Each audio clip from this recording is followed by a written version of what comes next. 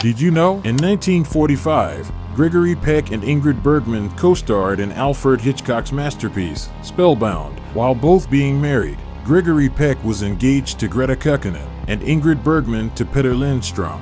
During the filming, they developed a deep romantic love, and their affair became a major Hollywood gossip. However, their affair remained a secret for 42 years until 1987, when Gregory Peck, then 71 years old, revealed their love in an interview just few years after Ingrid Bergman's death. He described her as a lovely Swedish rose, saying, I was young, she was young. For more videos like this, subscribe to Time Recap.